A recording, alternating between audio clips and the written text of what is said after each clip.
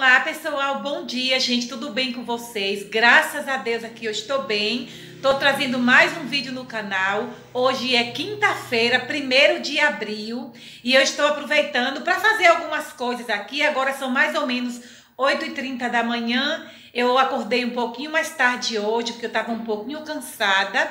Dias atrás eu não tive muito bem, não cheguei a falar aqui com vocês porque eu sempre procuro trazer assim o meu dia a dia, aquilo que seja para incentivar vocês, mas também eu gosto de trazer assim, manter vocês informados de algumas coisas que acontecem comigo.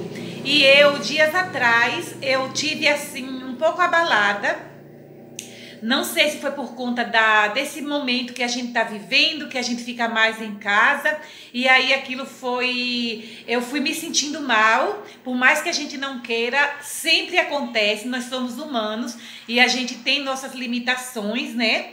E aí eu me senti mal, fui na farmácia, medi a pressão, tava assim um pouquinho fora do normal. Aí eu voltei para casa, acho que eu fiquei um pouco ansiosa, apreensiva.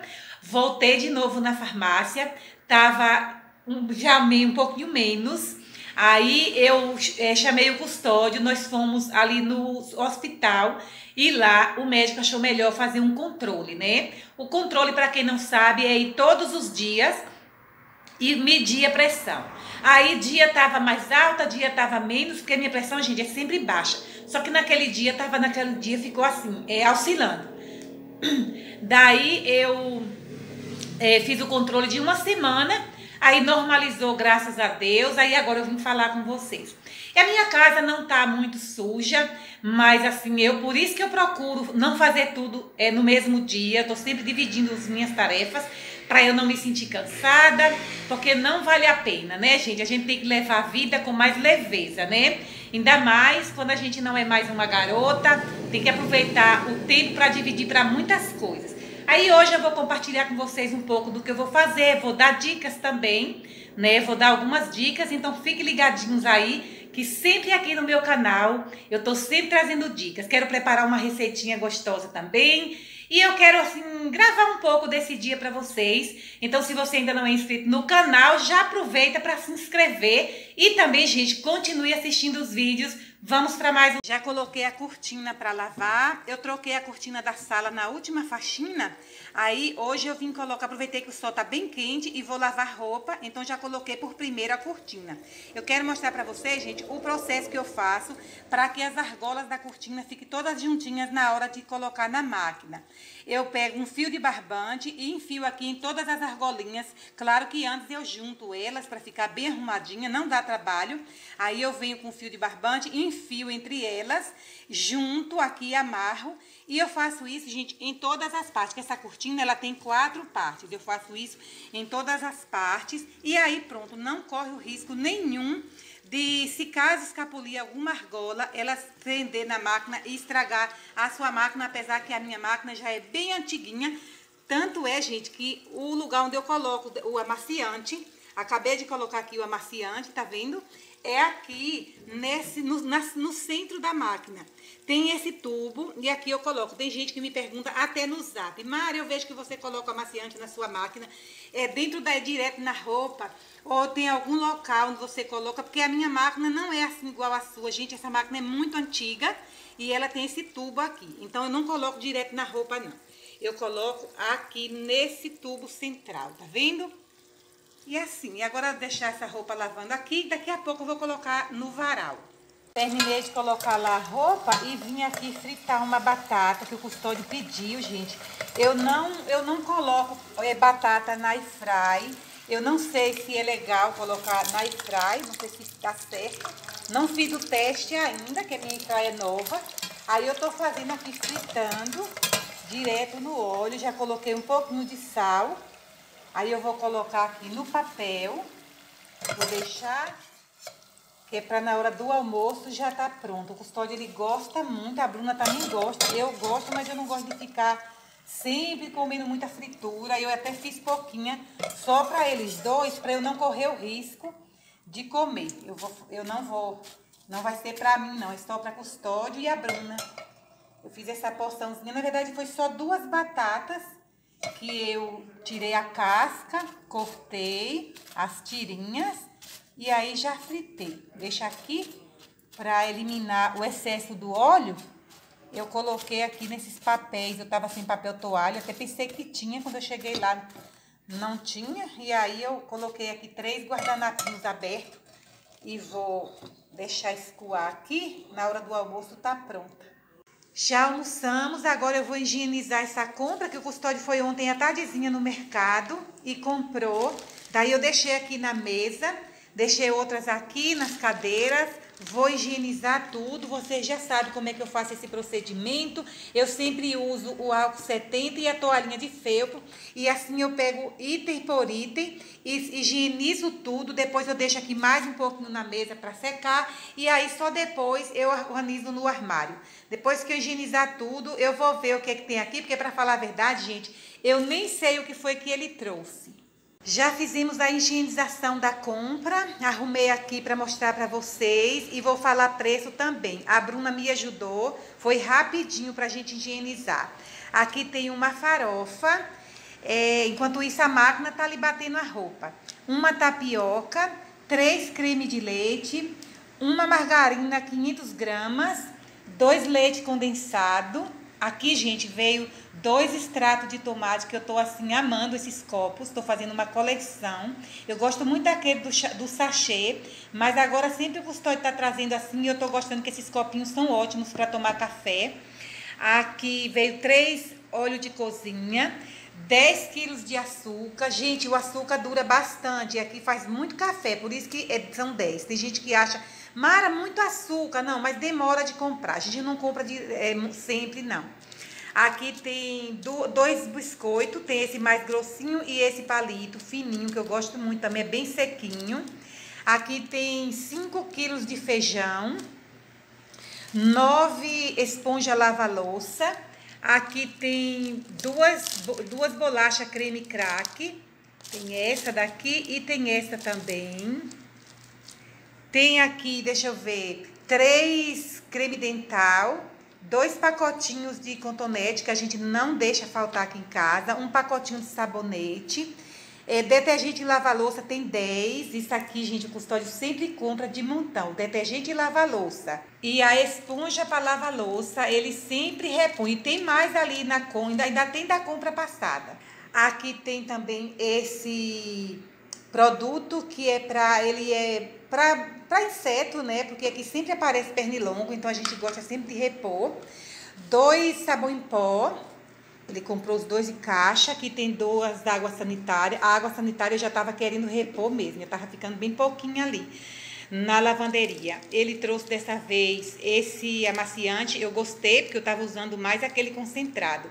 Aí eu gosto de variar. Esse aqui tem um cheirinho mais leve, ele trouxe esse. Aqui tem 20 pacotinhos de café.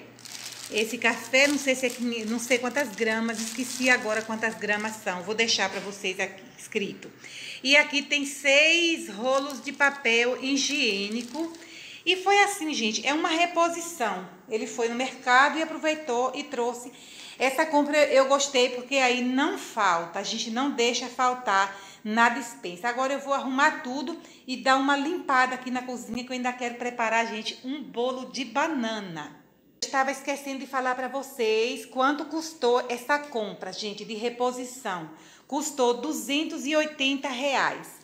Aí fala aí nos comentários se vocês acham que tá caro, se tá bom o preço, como é que tá aí na cidade de vocês. Eu não tenho os preços individuais porque esse mercado não tem os preços na prateleira. Depois eu vou explicar para vocês quando eu for lá em um outro vídeo como é o procedimento daquele mercado. You held me back when I tried to move on from your life, saying you stole my life clarity. So hold me back, here, cause I'm mad, show no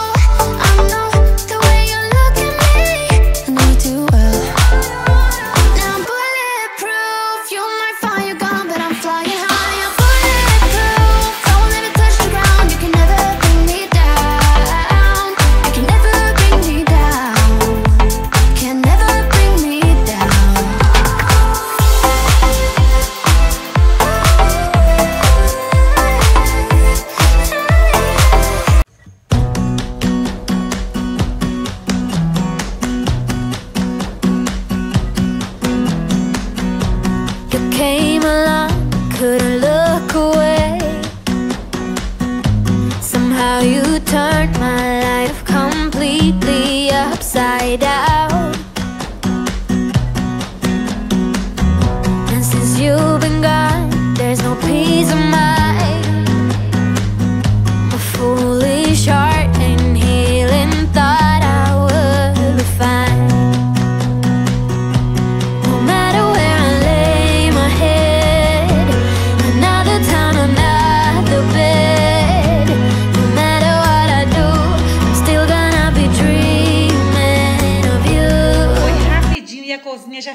assim, gente, toda organizada, toda limpa. É, depois que eu guardei ali a compra que eu tinha higienizado, a gente já tinha almoçado. Aí eu vim, lavei toda a louça, deixei a pia toda arrumadinha aqui, toda limpinha. Agora só vou guardar aqui essa louça. Ali também já tá tudo limpo. Aí eu vim, é, limpei a mesa, varri o piso aqui, passei um pano bem passado, troquei os tapetes, coloquei aquele tapetinho de linha ali no pé da geladeira. Coloquei esse aqui no pé da pia e coloquei toalha de mesa na mesa. Hoje eu usei toalha, nunca mais eu tinha usado toalha. E a cozinha ficou assim, gente, toda organizadinha. Nada melhor, né? Agora eu tô aqui com essas bananas que tá ficando madura, tá bem madurinhas. Eu vou pegar algumas delas e vou preparar o bolo de banana que o Custódio mais a Bruna ama. Eu também até gosto, mas eles gostam demais de bolo de banana. Aí eu vou preparar agora. Aqui eu já estou com os ingredientes para preparar nosso bolo. Eu tenho aqui três xícaras de chá de farinha de trigo, duas xícaras de chá de açúcar, três colheres de sopa de margarina, é, uma colher rasa de fermento, a colher de sopa. E tenho aqui uma xícara de chá de leite quente. Aqui eu tenho três ovos inteiros, gente, só que aconteceu um pequeno acidente. Os ovos, tá muito quente aqui, aí um ovo quebrou a gema e misturou com a clara. Eu ia bater a clara separada, só depois eu ia acrescentar a gema. Como aconteceu isso, eu misturei, vou bater tudo junto aqui na batedeira. E aqui eu tenho uma forma já untada com caramelo, que eu usei uma xícara e meia de açúcar. E coloquei cinco bananas pequenas. Essa é a banana ouro. Você pode usar qualquer banana. E se sua banana for grande, você pode colocar menos. Aqui eu coloquei cinco, parti ao meio. E aí é, espalhei aqui no fundo da forma e ficou assim. Agora eu vou é, é, bater o bolo e depois eu vou tá colocando ali na forma. E o forno, gente, tá aqui a 180 graus, já tá aquecendo ali. É o tempo de é, fazer o preparo aqui da massa do bolo para eu tá colocando para assar. You better turn up. You better be there when I shake. Watch me rocking if I can't stop. Should fall, just go ahead.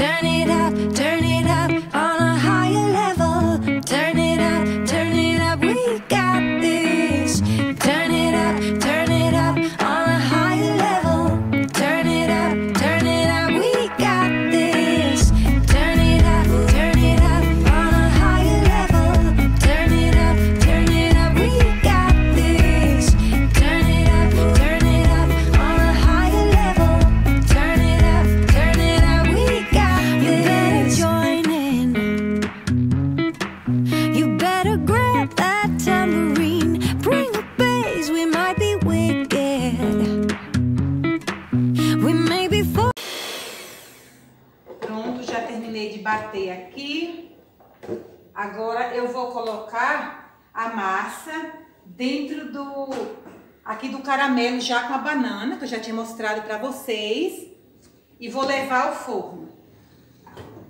Eu coloquei aqui a luva, gente, porque a a forma tá quente, eu dei uma esquentada.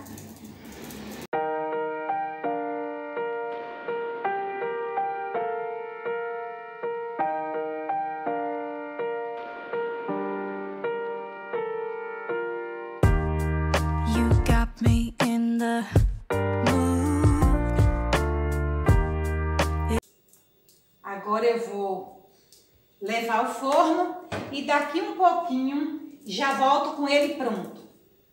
O forno já está aquecido a 180 graus.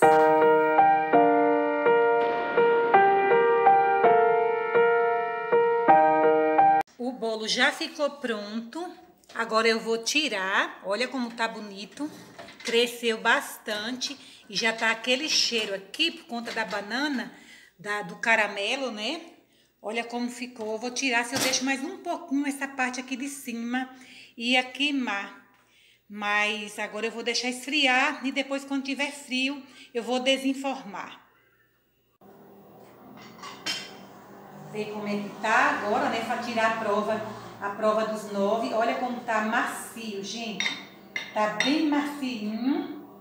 Deixa eu virar aqui. Olha. Aqui amanhã é que vai estar tá melhor ainda, porque esses bolos assim é como se fosse uma torta. Só que na massa pão de ló. Olha só, gente, como tá bonito. Ficou bem assado. A banana não ficou crua. Olha só. Com certeza uma delícia. Tá quente, eu vou, vou deixar esfriar aqui para depois a gente tomar o nosso café da tarde. Mas já dá para vocês sentirem aí como tá assim o resultado desse bolo. Então aproveitem para fazer aí na casa de vocês, porque essa é a minha maior intenção, é eu preparar aqui os meus pratos simples que vocês estão me pedindo. Se vocês quiserem que eu faça esse bolo para deixar aqui no canal, só pede aí nos comentários que eu faça receitinha especialmente para vocês. Eu vou deixar esfriar para a gente tomar o nosso café. Bom, pessoal, eu vim aqui finalizar o vídeo de hoje por aqui. Eu acredito que vocês gostaram, porque tem muita gente falando, Mara, grava mais vídeo de rotina, grava vídeo de receitinha. Eu tô procurando colocar as receitinhas, gente, dentro dos vlogs, dos vídeos de rotina, mas aí eu vou voltar a gravar minhas receitinhas sim, para dividir aqui com vocês um pouco do que eu faço, um pouco do meu dia a dia. Quero falar que eu tô muito feliz também, muita gente nova chegando no canal, pessoas que fala, que se motiva com o meu dia a dia, que teve gente que me pediu que não parasse com o canal. Realmente, gente, eu não tenho essa intenção. Então, quero aqui já aproveitar e falar para você. Mas para mim foi muito prazeroso eu saber que do outro lado tem pessoas felizes com o meu dia, acompanhar o meu dia a dia. Eu fico assim, gente, muito honrada. Também com os comentários eu gosto muito de responder. Peço a vocês que não se esqueçam de deixar bastante curtida nesse vídeo, de compartilhar o meu canal para que outras pessoas também, gente, possam se aproximar da gente, né? Agora eu vou pegar ali a roupa que está na máquina, vou colocar no varal, porque o sol já baixou, estava muito quente ali onde eu coloco a roupa, no varal é um pouquinho quente, aí eu sempre deixo para de tardezinha. Então agora eu vou aproveitar e vou colocar a roupa no varal e depois sabe para onde eu vou? Regar minha horta. O custódio queria ir, falou, Mara, eu vou e você fica, porque ele viu que eu estava aqui finalizando, né, gravando para vocês. Ele falou, Mara, se você quiser eu vou. Eu não, vou, eu vou também, porque se, se eu ficar um dia sem ir na minha horta, não me sinto bem. Então eu vou agora pôr a roupa no varal e depois eu vou para a horta, mas eu não vou gravar indo para a horta hoje não. Viu? Logo, logo vai ter vídeo com a horta sim, porque lá tá acontecendo muitas novidades. Um beijo para todos vocês, gente. Até o próximo vídeo. Tchau, tchau.